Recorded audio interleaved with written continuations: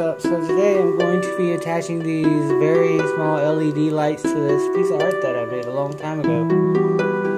I actually finished it in a 92911, but I've added stuff to it a lot. I'm going to attach these lights and show you what they look like.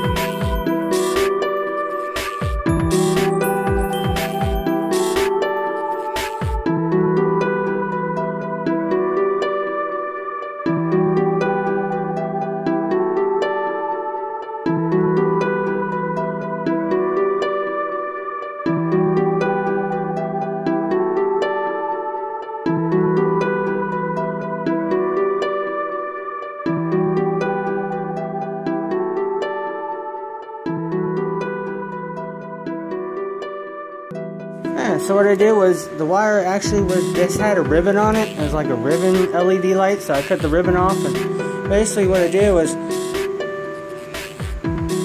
I stuck the wire between the cracks. And then I taped the back up where the plug is. Yeah, it was simple. Then I just glued the rest on.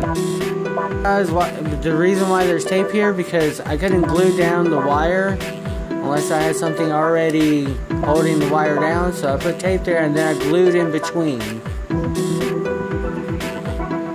If you like this video, please like, share, and comment. Don't forget to subscribe. Thanks for watching.